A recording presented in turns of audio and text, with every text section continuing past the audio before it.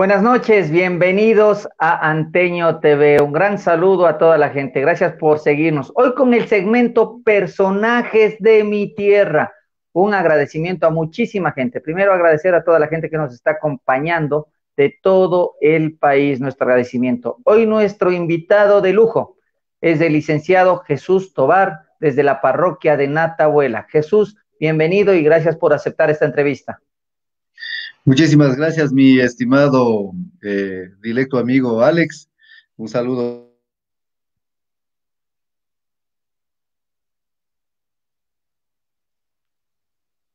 El cantón, Antonio Ante, y la provincia y del país, y a los sectores también de otros lados del mundo que este medio de comunicación permite transmitir y conocer el trabajo que viene desarrollando usted.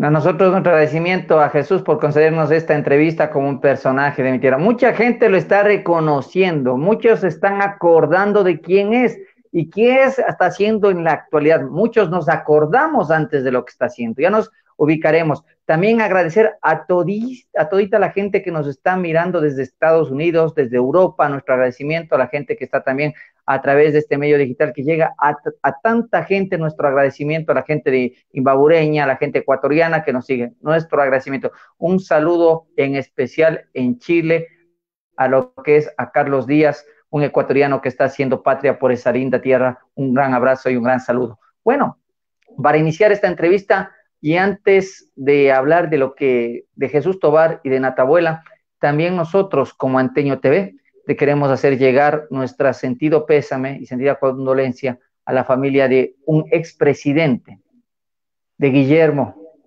Y a, y a Guillermo Garzón, que lo podríamos decir así, ¿no? Un detalle, no se pierda. Este próximo día jueves, 20 horas, me dio una entrevista espectacular. Una entrevista, le estoy hablando del año 2019, si no me equivoco, la gente de producción aquí me corrige. 2019 donde tuvimos una entrevista y hemos conversado sobre este y muchos temas de él que tenía en ese tiempo, era presidente de la Liga Deportiva Barrial, Antonio Ante, en aquel tiempo, y nos concedió una entrevista de 30 minutos. La vamos a sacar tal como la tuvimos en aquella época con los errores técnicos y todo que usted lo va a ver.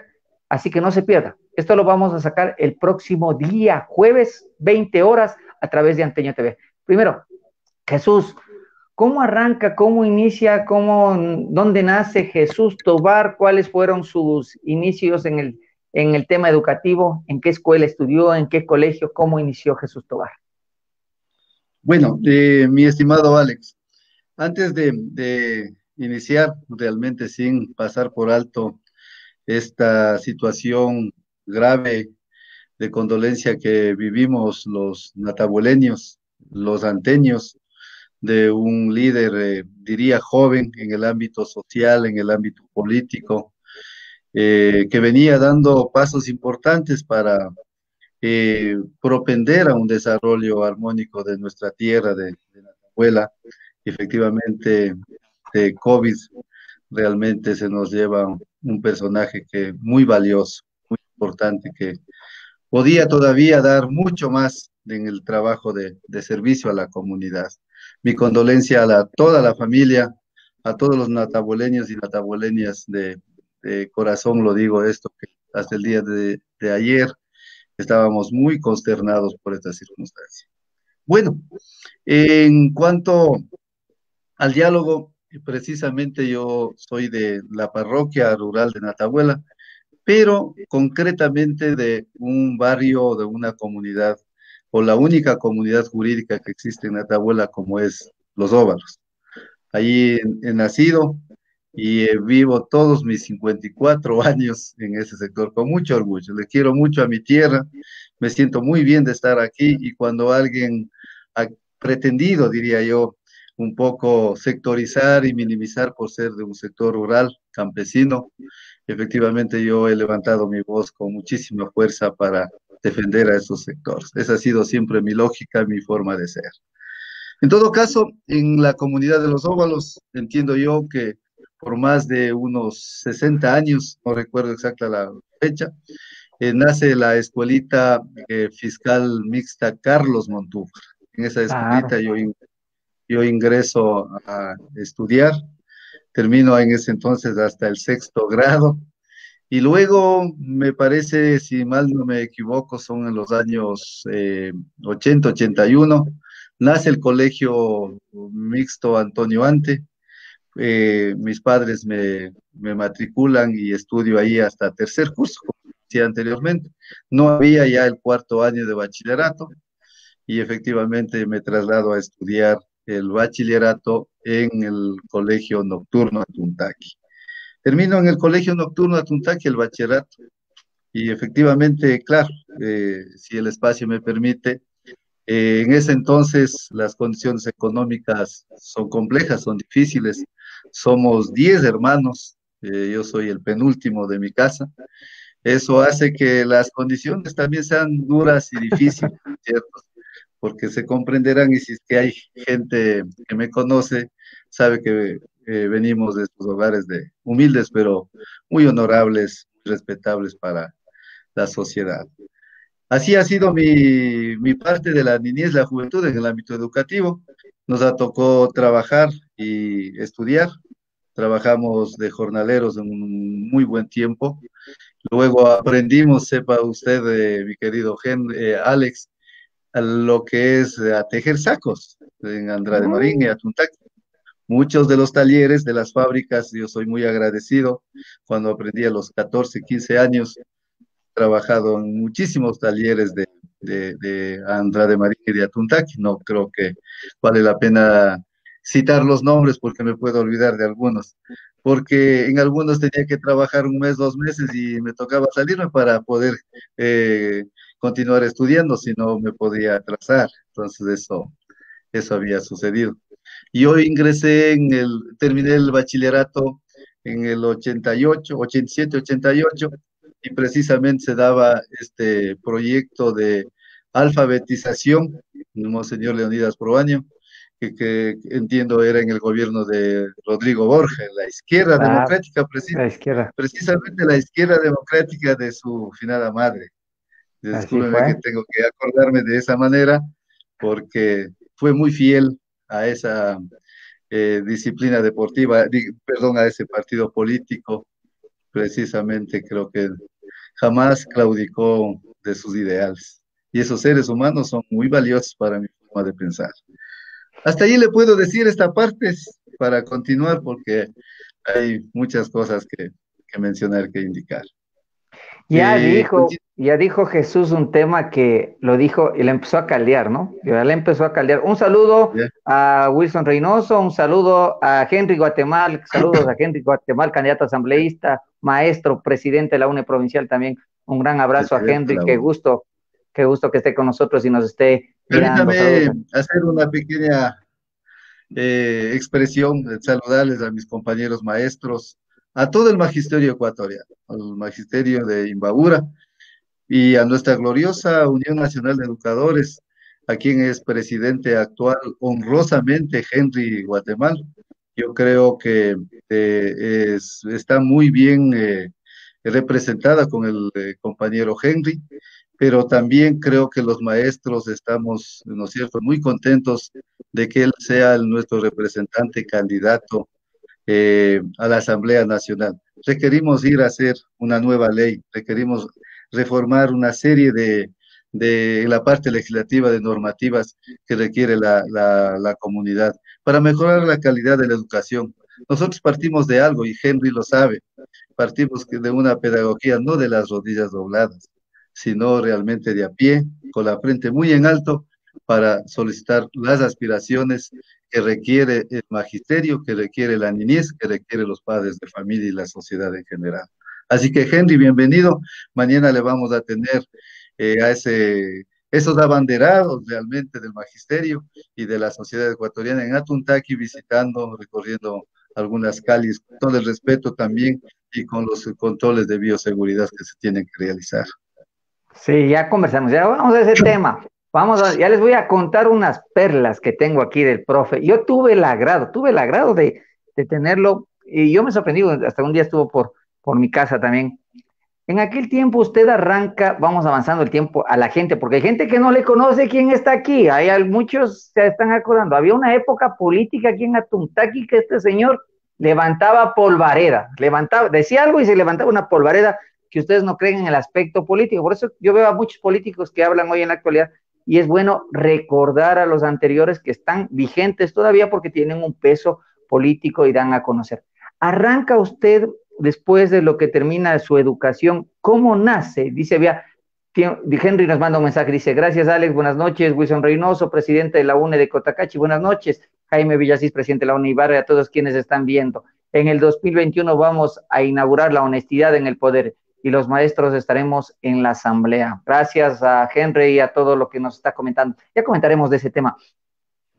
Y porque a Jesús tengo otro tema también que me tiene que comentar cómo está la situación actual. Y aquí en Atunta, aquí, y aquí en Antonio Ante, algunos se van a quedar sorprendidos de lo que va a hablar aquí el Señor.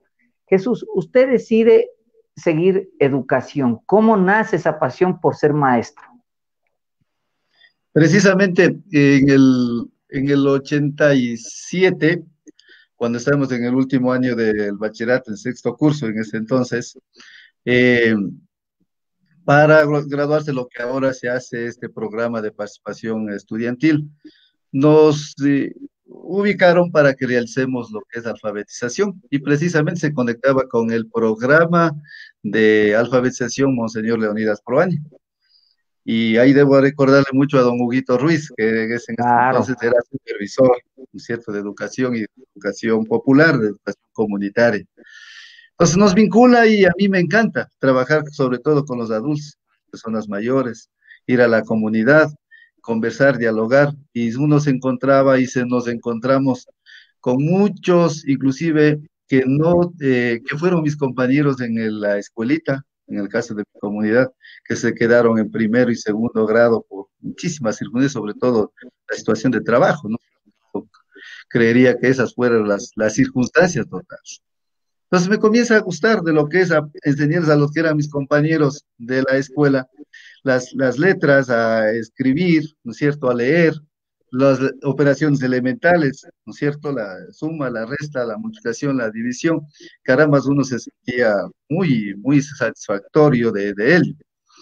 Entonces, eh, ahí eh, viéndome el ánimo que tenía, sin saber mayormente de pedagogía ni de andragogía en ese entonces, efectivamente, don Huguito Ruiz me conecta y me hace ingresar en calidad de bonificado, se llamaba, al programa de educación popular o educación comunitaria, así se llamaba, parece que tenía.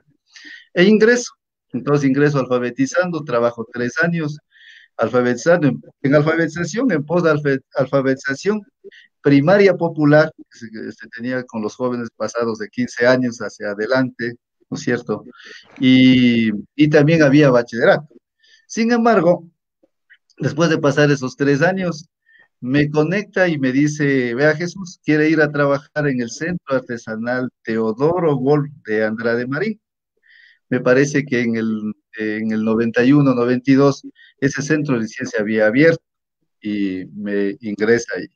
Sin saber mayormente eh, pedagogía, no me había parado jamás en, al frente de, estudiantes, de, de, chicas, de chicos, que caramba, si nos temblaba las piernas, sudábamos, creo que no solamente la frente, sino todo el cuerpo. Creo que ser sincero vale la pena. Y efectivamente comenzamos ahí a trabajar, ¿sí? Y eso nos hizo que con el tiempo, no muy lejano, lleguemos a ser el director del centro artesanal. Trabajé 16 años en el centro artesanal efectivamente en el Radio Marín. Así que yo no hice la conscripción que normalmente el resto de maestros lo Yo fui un poco en ese sentido. Pero es un trabajo maravilloso porque se trabajó con la gente de bajos recursos económicos, porque realmente quién iba a aprender ya luego la especialidad de construcción, mecánica y carpintería, que había las especialidades, efectivamente era la gente que eh, pensaba en un trabajo, eh, eh, calarle la educación para el trabajo. Yo siempre le entendí que esas dos, esas dos elementos tienen que estar bien juntos. A veces en los colegios normalmente y usted le da la teoría y el estudiante comienza, pero no se conecta, ¿no es cierto?, ese conocimiento para el trabajo, para la situación laboral.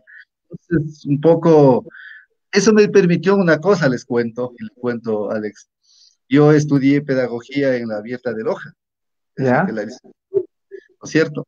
Pero curiosamente hasta ese momento no me, no me servía esa especialidad, no me servía exactamente por lo que estaba vinculado a los centros artesanales. Y se abre un programa con el PROPAR, no sé si alguien se acuerda con la Universidad Tecnológica Internacional de Quito, y me parece que ahí inclusive eh, estudió la licenciatura en educación de adultos también doña Inesita, yo Así recuerdo. fue. Sí. Yo, veas, claro, esa mente. Sí, se va acordando. Ya me va a contar algo más. Yo no me puedo olvidar de todo eso.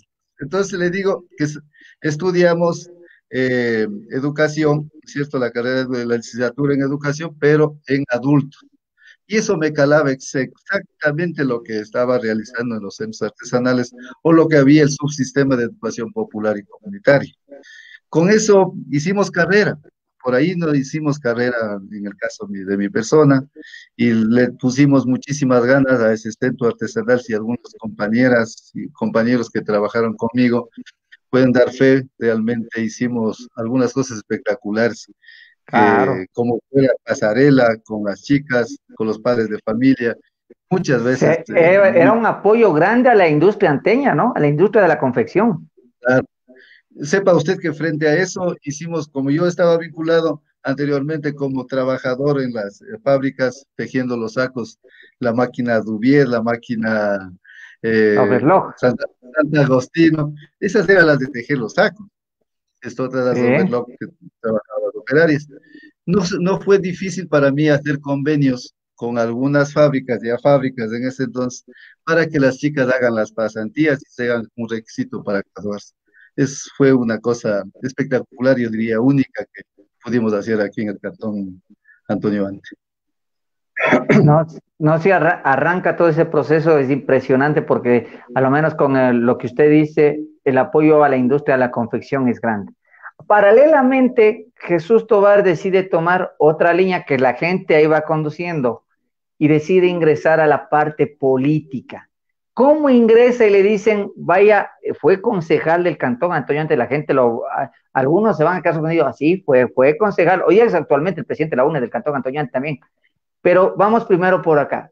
Decide ingresar a la parte política. ¿Quiénes son los famosos? ¿Cómo arranca y cómo se da ese proceso de elección en la política?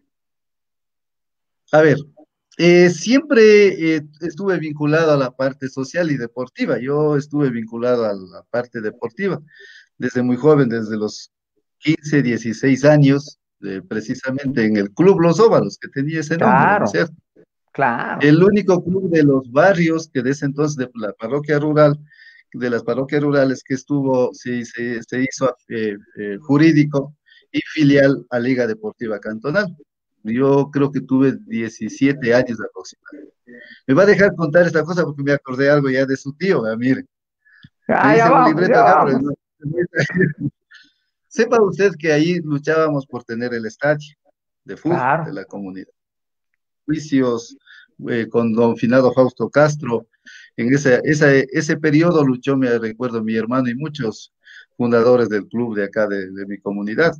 Pero ya para la etapa que ya era de la, eh, la escritura, eh, entregar la, la entrega de la escritura y el terreno, el mejoramiento ya del terreno, estaba de presidente del municipio don Marco Mantilla, Claro. ¿sí? Con él me parece que es en el 91, si don Marquito de pronto se acuerda mejor, en el 91, en el no- 92, que inauguramos el estadio. Entonces, era pues una epopeya bastante emocionante que tengamos un estadio reglamentario, efectivamente, con las mejoras que se había hecho y todo.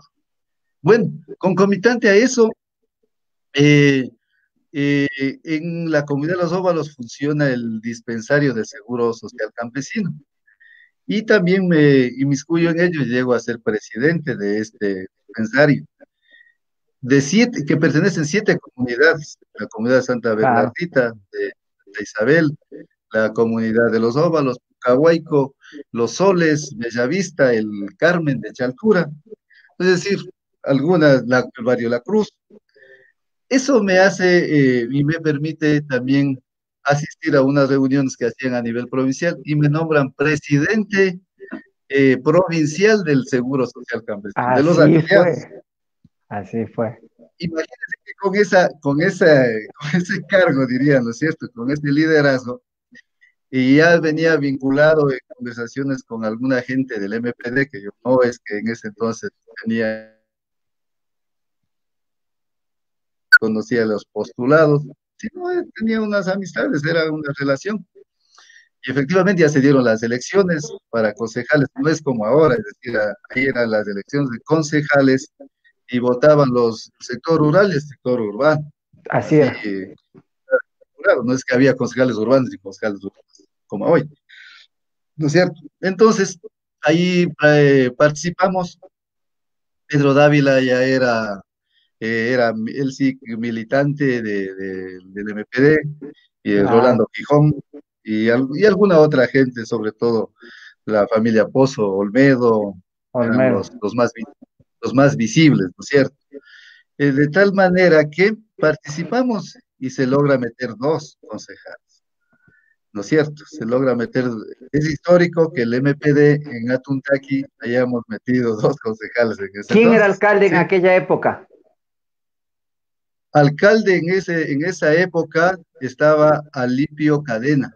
Claro, el doctor Alipio no, alcalde, todavía, era, todavía era presidente del municipio.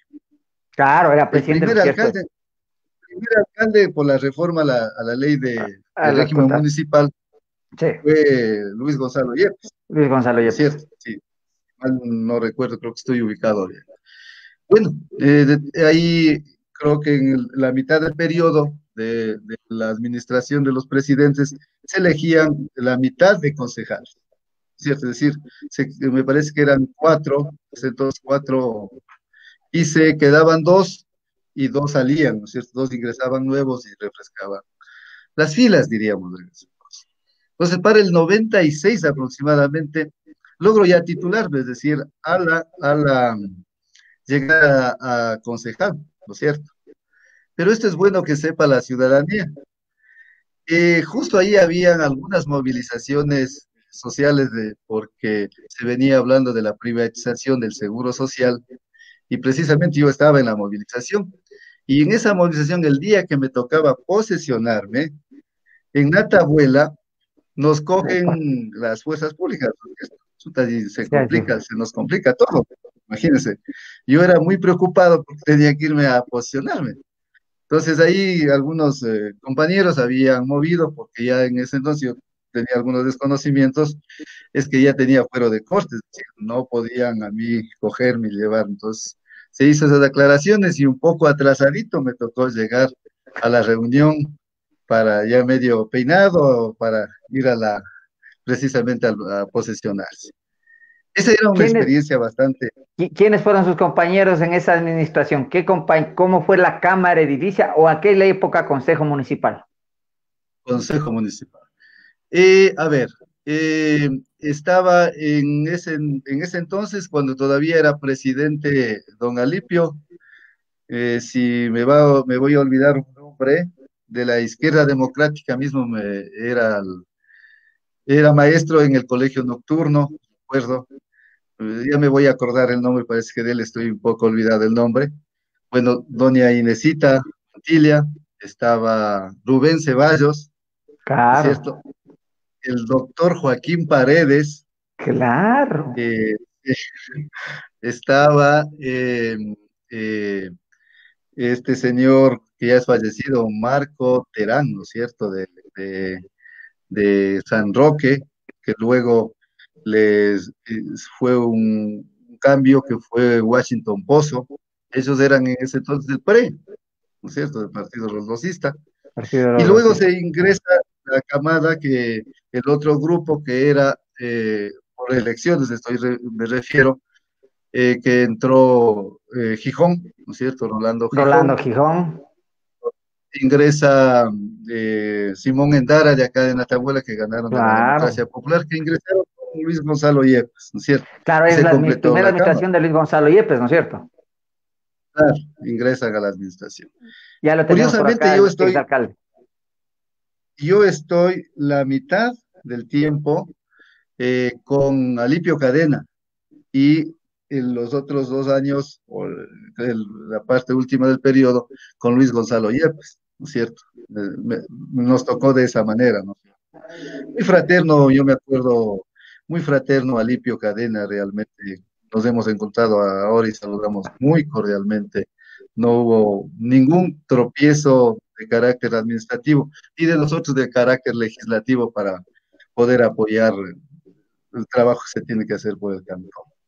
Si usted quiere saber un poco más en el ya en el espacio con Gonzalo Yepes, vamos a tener que también manifestarle a la ciudadanía. Eso se viene un programa con al señor exalcalde del cantón Luis Gonzalo Yepes, ya lo estaremos, lo tenemos aquí en carpeta. Mucha gente me ha preguntado, sí, ya tendremos a exalcaldes del cantón Antonio Ante, personajes de mi tierra en este segmento donde conversaremos mucho del tema y que se va desarrollando. Un gran abrazo a toda la gente que está reportando sintonía desde la provincia de Pichincha. Nuestro agradecimiento, también nuestro agradecimiento a la gente que está reportando sintonía desde la SUAY. Gracias a Carlos Escobar en el Azuay. También agradecimiento, me dicen chicos, a la gente que está reportando desde los ríos. Un abrazo allá en los ríos a toda la gente. Gracias, gracias por estar con nosotros y siguiendo acompañando esta hermosa entrevista conversando con un personaje de la parroquia de Natabuela. Jesús, ya en este aspecto político, ¿cómo ha visto usted desde el punto de vista ya como ciudadano el desarrollo de Natabuela en estos años? Bueno, eh, me gustaría mencionar algo. Eh, cuando eran antes del efectivamente no se politizaba estos, estos espacios, estos puestos, ni tenían el interés mayor de toda la comunidad. Deberíamos hacer ese análisis. Sin embargo, el general de las obras, de manera patriótica, eh, venían haciéndose el, dirigente del barrio, el dirigente de la comuna, para verle progresar a sus, a sus sectores, ¿cierto? Sin embargo, usted sabe que en el 2000, con la ley de juntas parroquiales, pues se da votación popular. Y ahí participo yo. Participo ya luego de terminar el periodo de concejal, yo terminé en el 98, dos años estuve ya precisamente en la docencia, y luego que se da las, eh, la ley de juntas parroquiales, participo y efectivamente gracias a la voluntad de, de mi tierra, logramos eh, llegar. Las necesidades son muchas en ese entonces. Es decir, mire, era el tema del alcantarillado. Grandes sectores de Natabuela no tenían el alcantarillado, no había electrificación en algunos sectores, eh, alumbrado público, por supuesto, tampoco. Una gran parte de la parroquia eran postes de, de madera. Es decir, las condiciones complejas. Yo entiendo que las otras parroquias también son las mismas cosas.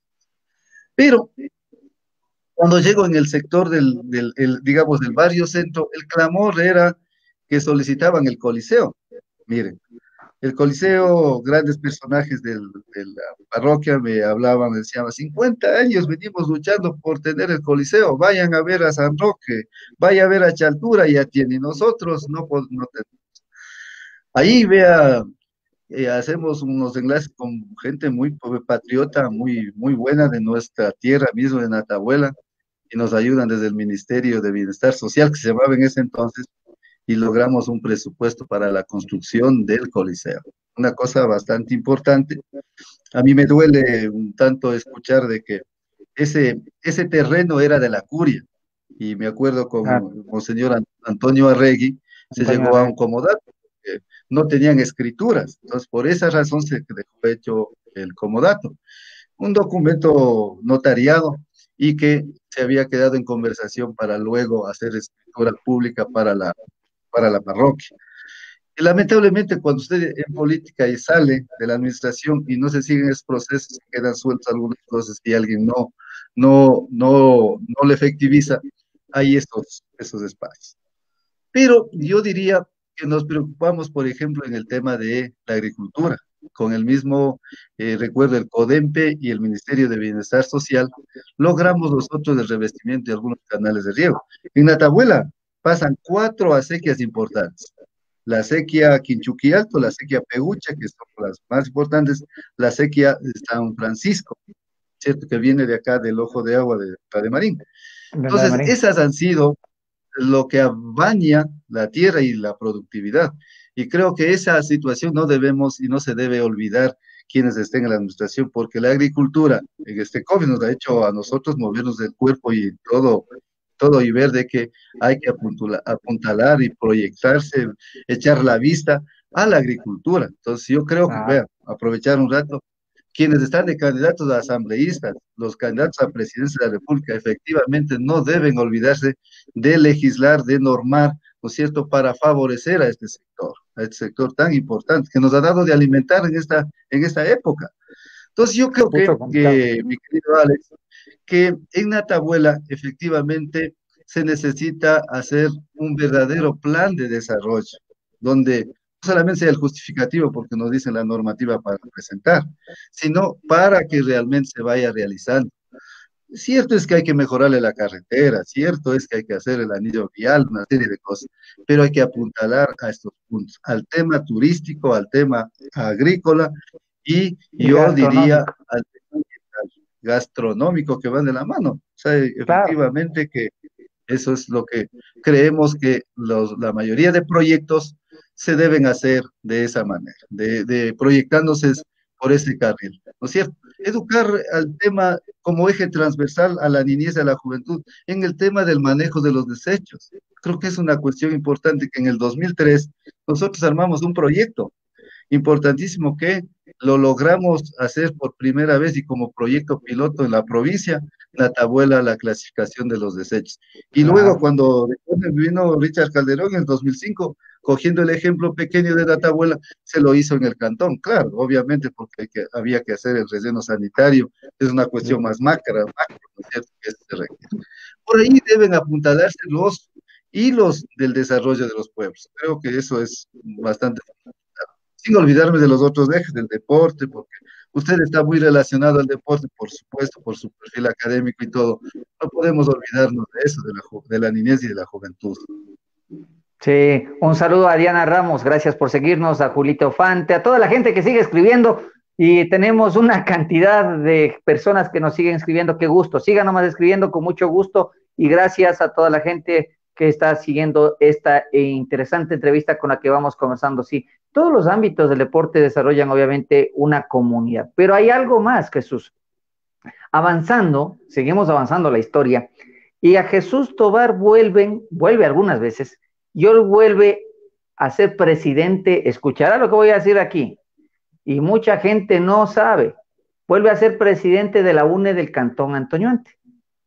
Pero usted llega al, a su infraestructura que está ubicada aquí en la avenida Julio Miguel Aguinaga, diagonal ahí, juntito, cerquita, digo, a los bomberos, cerquita a toda la gente, pero se encuentra con qué novedad Jesús ahí que muchos aquí en Antonio no lo saben. ¿Qué pasó? Bueno, siempre eh, en las organizaciones que yo he estado, sea deportivas o comunal, ha sido hacer algo de autogestión. Efectivamente, esa ha sido una de las prácticas, buscar el mecanismo para poder eh, apuntalar, inclusive lo de la minga. O sea, yo en mi tierra he trabajado mucho en lo de la minga y eso inclusive ha favorecido para que los recursos sean bien aprovechados. Sepan ustedes que en el tiempo del correísmo, ¿cierto? Las UNES comenzaron a, querer quitar y pretendieron quitarnos. Para suerte, y, hay que reconocer que Imbabura fue una de las provincias que se paró duro, con mucha fuerza y mucha fortaleza. Han estado ahí muchos líderes, que, líderes eh, eh, unionistas del magisterio que han, sabido soportar esta, arremetida. Aquí en Antonio Ante, eh, para suerte no lo podían hacer eso porque hay una escritura, ¿no es cierto?, de expropiación, en el tiempo Fausto Castro de comunidad de presidente del municipio se logra hacerlo. Para suerte tenemos poco de conocimiento de eso y nosotros rápidamente lo habíamos previsto eso. Pero este, esta etapa que, que estuvimos hace que también esté un tanto abandonada, dejada la, infraestructura y no falta los amigos de lo ajeno de aprovecharse, de hacer daño, porque no es que hay bienes inmuebles que tengan una mayor valía. Sin embargo, no falta, como digo, eh, nos dan destruyendo el salón, nos dan destruyendo las paredes, el ventanal, y de tal manera que habíamos hecho la solicitud al municipio como gremio para poner también nuestra contraparte, obviamente, pero lamentablemente es muy, es muy lento el trámite para poder sostener. Más bien nos fuimos por la vía, mi querido Alex, de solicitarle a gente muy generosa, muy, eh, le digo, eh, que tiene una fraternidad con el magisterio. Yo debo hacerlo público en esta noche a toda la gente que nos ha sabido colaborar, a maestros, a maestros como usted, Alex, que han sabido poner el granito de arena para que con esos recursos efectivamente lo podamos arreglar, hacer un mantenimiento y sea una casa a la altura de los maestros del cantón Antonio. Sí tiene que tratar. Estamos haciendo ese trabajo y e iremos también de pronto golpeando otras eh, puertas, otros corazones de la gente de, de, Antonio Ante y que nos sepan ayudar en ese sentido. Ojalá los vientos políticos de las elecciones cambien eh, con este proceso electoral y podamos efectivamente fortalecerla, eh, enriquecerla a nuestra organización, a la Unión Nacional de Educadores. Pero lógicamente sí necesitamos maestros capaces, convencidos en esa asamblea. Por eso nosotros echamos toda la voz al magisterio, a los, a los jóvenes estudiantes, a los padres de familia, para que nos apoyen ahora a nuestro compañero Henry Guatemala y a nivel nacional que también existen, están algunos maestros y maestras de candidatos a la Asamblea Nacional. Creo que esto va a ayudar muchísimo a cambiar la realidad en la cual está sometida la educación del Ecuador. Un detalle, y antes de entrar en un tema que le tengo acá candente y pendiente. Primero un saludo al más querido, al maestro más querido del Cantón Antonio ante el más deseado, al licenciado Marcelo Cadena. Un gran abrazo aquí a la distancia. Nos está viendo Marcelito. Gracias, Marcelito. Un gran abrazo al más querido de Antonio Ante. Se viene, y la historia no nos va a dejar mentir, uno de, una función académica o un personaje o un un personaje que siempre ha estado inmiscuido en en el sector público y en la política, y una profesión que siempre lo ha estado, son los maestros. Los maestros llevan varios años. Aquí en Antonio Ante hay maestros que fueron alcaldes, don Gustavo Andrade, que no lo va a decir, don el licenciado Edgar Recalde, que mucha gente no se acuerda, eh, no se, se olvidan a veces. Fueron concejales como doña Elisa Dávila, doña Yolanda Bizarrea, distinguidos maestros. Exactamente. Mucha gente. Hoy en la actualidad, y no, no podemos desconocer, estamos a pocas semanas de un proceso electoral y hoy tenemos una gran cantidad de maestros que se está. Hoy en la actualidad tenemos un maestro, el presidente de la UNE de Imbabura, Henry Guatemala, al frente de este proceso electoral. ¿Cómo usted está observando que hoy se pretende reto, reformar lo que es la ley orgánica de educación intercultural? Estamos en eso, ya va un informe, veamos qué sucede en la asamblea pero ¿cómo ve usted este momento, este proceso político que está viviendo el magisterio ecuatoriano? Yo diría con vientos alentadores, eh, no diría que hay una competencia mayor si me refiero concretamente a la provincia de Imbabura. Eh, el compañero Henry Guatemala, así es un joven eh, profesional muy capaz, luchador de frente eh, a las, a las circunstancias que se han arremetido en contra del magisterio, en contra de la propia educación. Los ministros y la ministra actual que realmente no han dado pie con bola frente a las circunstancias en las cuales se está viviendo. No puede ser posible. Nosotros hemos sido los primeros que hemos rechazado dos situaciones primeras. La disminución de nuestro salario escuálido, paupérrimo en el cual estamos viviendo, y la otra, querernos pretender de que en plena pandemia, en en el, en el momento de que está eh, los contagios en progresión, regresemos a las instituciones educativas. Peor aún, el atentado de pretender de que los estudiantes también regresen a las aulas. Creo que en eso Henry Guatemala ha sido uno de los compañeros que ha estado al frente rechazando estas, estas eh, situaciones, pero también defendiendo al magisterio ecuatoriano en cuanto a esa reforma de la ley Ahí está planteado efectivamente las, la categorización, las, las 10 categorías, ¿no es cierto? El mejoramiento de hay que retomarlo. El mejoramiento de nuestro salario, que la, la, la, categoría mínima ganar sea de los mil dólares o de los 2.5 salarios básicos. Eso va a ayudar de alguna manera a, a mejorar las situaciones. Pero hay que ir a trabajar para mejorar la educación. Esas instituciones educativas comunitarias que están cerradas lamentablemente en las comunidades como pretendieron. En nuestro cantón mismo tenemos la Escuela Venezuela en Santa Isabel, cerrado una infraestructura muy buena todavía, una población estudiantil bastante grande. Y desconcentrada. desconcentrada. Lamentablemente se tiene que eso eh, volver, mejorar, darle todas las condiciones de calidad y de calidez para que los niños y los padres de familia se sientan contentos en su propio sector y no tengan que salir, ¿no es cierto?, pagar el pasaje, dar la colación para sus, eh, eh, representados. Entonces, creo que en eso el rol que juega el compañero Henry y algunos otros maestros que están decantándose en el país, pretendemos de que hay una asamblea realmente que vaya a la categoría. Nunca más deben estar esos eh, ciudadanos o más ciudadanos con carnet de discapacitados que, queriendo legislar a favor del pueblo. ¿No es cierto? Eso creo que hay que rechazar rotundamente desde nuestro punto de vista y de la sociedad en general.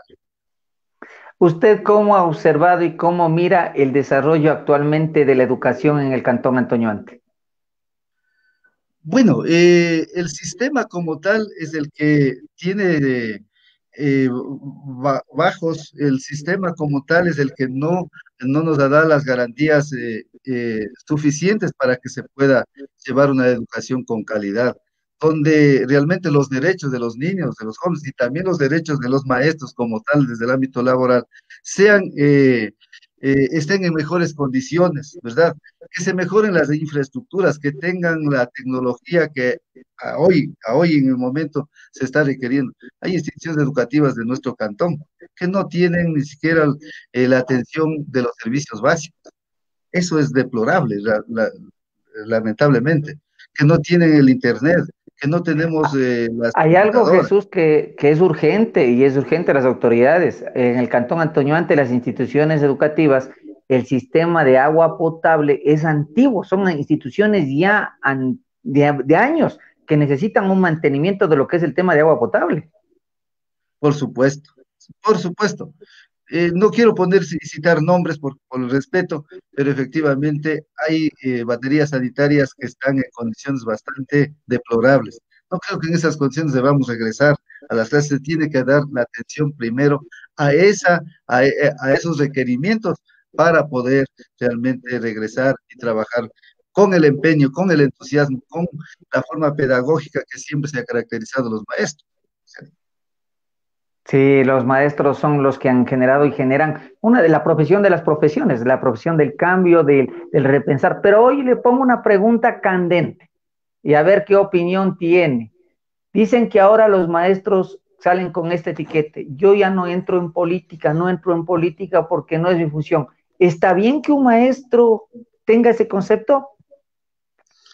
Eh, el ser humano como tal es un ente político una cosa puede ser de que no pertenezca o no quiera pertenecer a un partido político. Claro. Hay que entender bien claro esta pero no hacer política, para servir a la gente, para servir. El momento que usted hace, hace algo por ese niño, por ese joven, por ese padre de familia, está haciendo política. O sea, eso, debemos asimilar desde el ámbito más consciente de cada uno.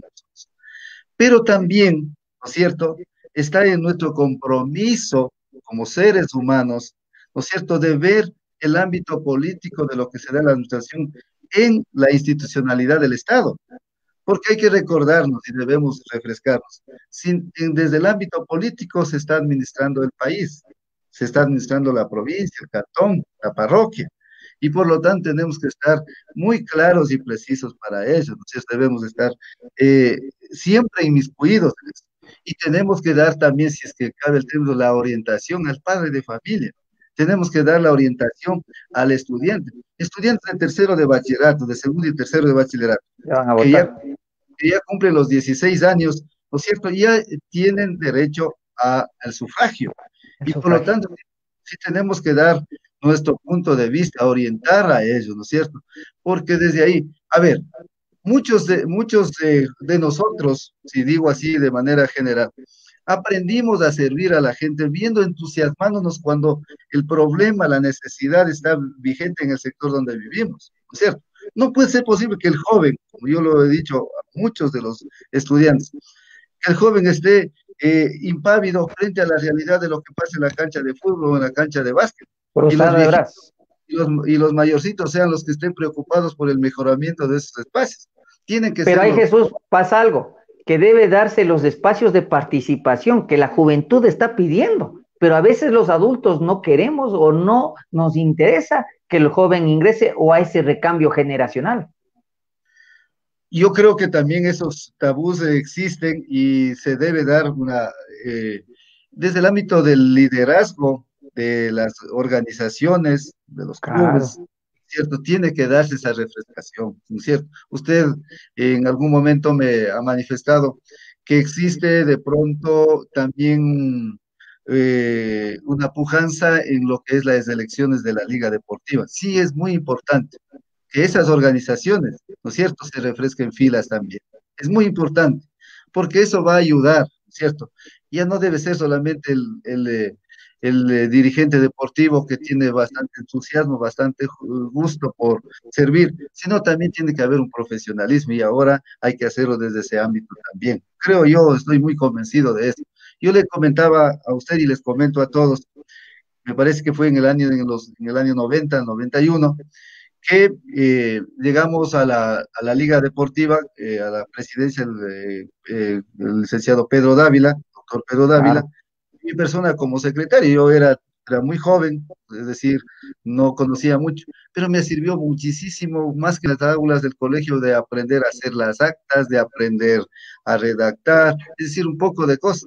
Creo que eso es muy bueno. Siempre debe, debe haber una combinación, debe estar la experiencia con la juventud, ¿cierto? el profesionalismo, con alguien que tiene, eh, le diría, eh, optimismo, predisposición para estar en esos espacios. Creo que eso es fundamental. Es más, yo me atrevo a decirle algo, mi estimado Alex, con la propiedad mía. Si me equivoco, usted me dice, vea, Jesús está equivocado. A veces los clubes deportivos han quedado en equipos, porque hay uno o dos líderes que comienzan a buscar los financiamientos para el uniforme, para el balón y hasta a veces darles un estímulo a los jugadores y hasta ahí, ¿no es cierto? Salen estos líderes, ¿no es cierto? O se cansaron esos líderes, esas organizaciones o esas instituciones deportivas, ¿cierto? Se destruyen o se van de baja. Eso es lo que ha pasado y lamentablemente no se construye liderazgo deportivo realmente hasta ahora. Creo que esa es una de las tareas fundamentales que necesita nuestro cantón y creo que otros sectores también. Me hizo picar la lengua. Voy a decir algo, me hizo picar, me dijo, adígales. Mientras aquí en Atuntaki hay una pujanza dirigencial deportiva, los deportistas entrenan aquí en Antonio Ante en escenarios con goteras, con aguas, con lluvias, y los que limpian son los deportistas. Y después queremos que en seis meses haya una Olimpiada y no digamos nada. Esto me llegaron a comentar, lamentablemente esto sucede. Aquí el eje del deporte deben ser los atletas y aquí tenemos campeones nacionales. Pero qué lamentable esta semana en un aguacero estén los deportistas barriendo, los padres de familia y los dirigentes mientras estando en el quién va más, a quién voy más. Aquí, mientras no se tenga la prevalencia o la interés por el deportista, no va a mejorar. Lamentablemente, ese es mi punto de vista que debería expresarlo, porque yo defiendo a los chicos, a los jóvenes, que son ellos los que me dicen esto nos está pasando. Y a los señores dirigentes hacerles una reflexión que tienen que hacerlo este momento que está viviendo el cantón Antonio Ante, y creo que no es, ya creo que ha sido suficiente y deben tomar sus líneas de, policía. Es un punto de vista técnico que les digo, señores dirigentes. Mejor hablemos de cosas buenas porque... No voy a hablar más del deporte porque ya no lo sé más tampoco, yo sé, hasta ahí no he estado ya metido y mis sí, Dejémosle ese tema ahí, dejémosle el tema ahí de, de lo que está sucediendo en la casa. algunas cosas y algún, salir de en subjetividades con algunos eh, dirigentes deportivos. Así es, dejémosle, dejémosles ahí en paz, que hagan ellos lo que tengan que hacer. Bueno, Jesús, yo agradecerle por la entrevista, por esta linda entrevista que nos ha concedido y qué futuro, y con esta pregunta para ir cerrando este programa, ¿cuál es el futuro que debe ser, el futuro que debe tener ahorita lo que es el Cantón Antonio Ante y más en sí, la parroquia Natabuela? ¿Qué sueña con eso? Mira ese lindo mensaje que dice Diana Ramos, dice, Paulo Freire, dice, la educación es siempre un quehacer político. Muy interesante lo que dice, ¿verdad? ¿Cuál es el futuro que debe tener la parroquia de Natabuela en educación? ¿Qué es lo que se viene? ¿Qué es lo que usted, según su punto de vista? Bueno, eh, a mi querida parroquia de Natabuela, que la respeto, la quiero mucho a sus habitantes, porque han sido muy fraternos toda la vida conmigo, todo el tiempo que yo he estado y, y, eso me, me, me hace sentir muy bien. Considero que hace falta la atención en algunos ministerios importantes de servicios básicos. Puede ser que sea atendido de mejor manera el tema del agua, faltará la calidad, faltará en algunos sectores todavía electrificación, alumbrado público, pero de alguna manera esto puede, puede ser que se ha ido mitigando de, en ese sentido. Pero creo que hace falta, pienso yo, proyectos en el ámbito del medio ambiente, proyectos en el ámbito de la agricultura, porque Natabuela es eminentemente agrícola, tiene una gran cantidad de, tierra todavía y es favorable hacia la parte alta del Cerro Imbabura, y por ahí debe, debe ser el camino en el cual se tiene que atender. Debe ser concomitante a ello atendido el sistemas de riego para que pueda esa productividad eh, mantenerse. Eh, en el ámbito educativo, fortalecer los establecimientos educativos que, que, tienen. Eh, hay dos, la uno en el centro de la parroquia, como es la, la escuela básica Daniel Pasquel, y de igual manera la escuela básica que está en la, en la comunidad de los óvalos Carlos Montúfar. Carlos Montúfar. Fortalecerlas, darles el, apoyo necesario, ¿no es cierto? Y ojalá fuera que algún momento pensamos en que pueda irse por alguna rama técnica, donde sea, sea muy bien el tema de la agricultura, o como algún momento se hizo un censo, realizar pues en eh, un bachillerato técnico en lo que es la construcción. Porque sepan ustedes que la, una gran mayoría de desde jóvenes hombres adultos trabajan en la construcción, ¿no es cierto? Y miren, esta pandemia nos hizo ver una serie de, situaciones con este sector de la laboral que se quedaron sin trabajo, se ha ido fortaleciendo de alguna manera. Creo que tecnificarles, sea artesanalmente o un bachillerato, va a ayudar de mejor manera a eh, paliar las crisis económicas laborales que se tienen. Hay que conocer que la situación de empleo, cierto?, es bastante difícil, complejo en el país, por supuesto en nuestros sectores. Eso creo que en líneas generales eh, requieren, requiere realmente eh, nuestra parroquia Natabuela.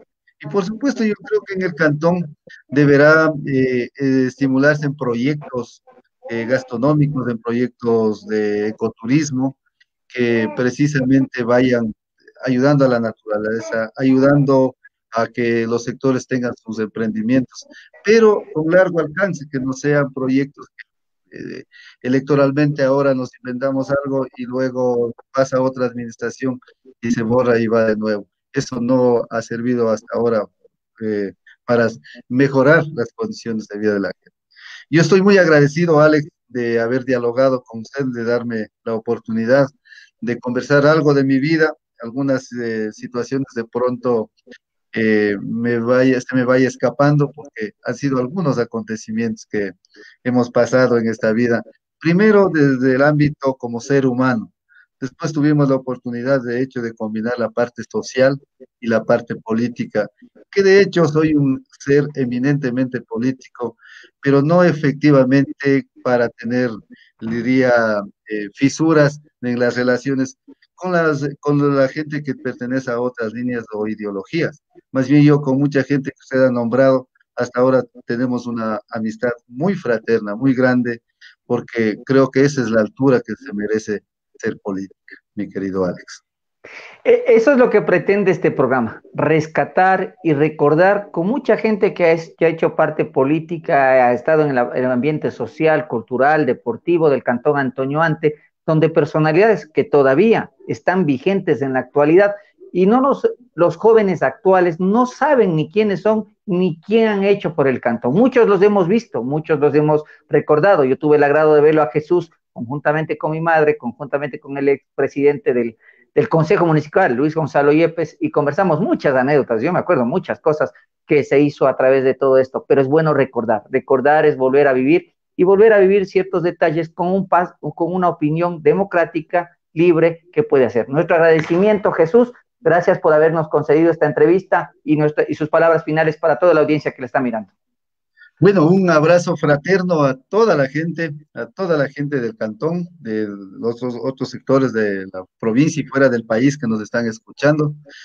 Y claro, estamos viviendo un momento electoral que es bastante complejo. Yo he saludado y conversado con alguna gente y en realidad viene de Siria, de la política, está pero harta hasta la coronilla de lo que ha venido haciendo los gobiernos, de lo que viene haciendo la Asamblea eh, nacional y efectivamente es desastroso. Sin embargo, hemos puesto las mejores piezas, las mejores hombres y mujeres para que puedan representar.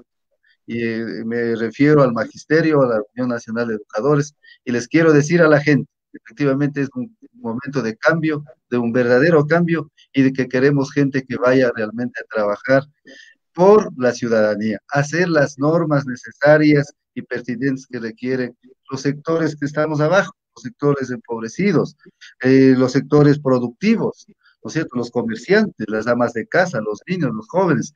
Para eso, eh, desde el punto de vista de maestro, debo decirles que hemos puesto los ojos, la vista en Henry, en Henry Guatemala para que sea el asambleísta de Imbabura, de toda nuestra provincia y les decimos desde este espacio, efectivamente se, no se equivoquen, le van a ver ya en Antonio Ante el día de mañana a Henry caminar con ustedes y les invito a participar de ello.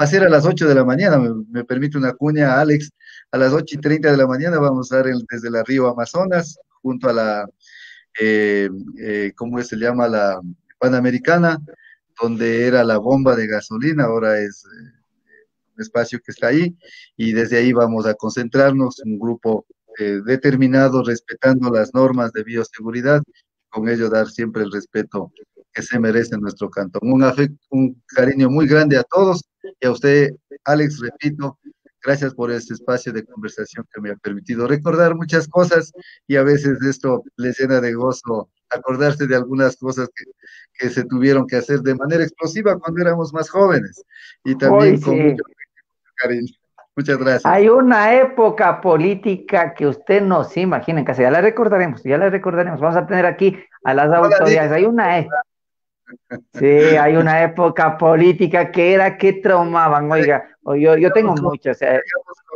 Con, el avispero a la gente queriendo saber esa, esa parte. Sí, había una época política que yo, yo, me dicen, Alex, ¿y cómo se acuerda? Yo lo vivía obviamente con mi madre, acompañaba a mi madre y veía esos, eso era política, o sea, no era enojos, eran caballeros, terminaban dándose la mano, riéndose, pero defendiendo su posición política y con una educación espectacular, y eso es lo que mucho a mí me, me agrada y me llama la atención. Así que nuestro agradecimiento, gracias. Gracias Jesús por habernos acompañado, gracias a la gente que nos está siguiendo. Síganos, no se pierda, el otro jueves tenemos un homenaje a este gran dirigente deportivo de la parroquia de Natahuela. 20 horas, una entrevista que lo hice en el año 2019, 2019. Lo hicimos una entrevista en vivo y en directo. Así que nuestro agradecimiento a todos por habernos acompañado a través de lo que es Anteño TV desde el corazón en Imbabura. Muy buenas noches.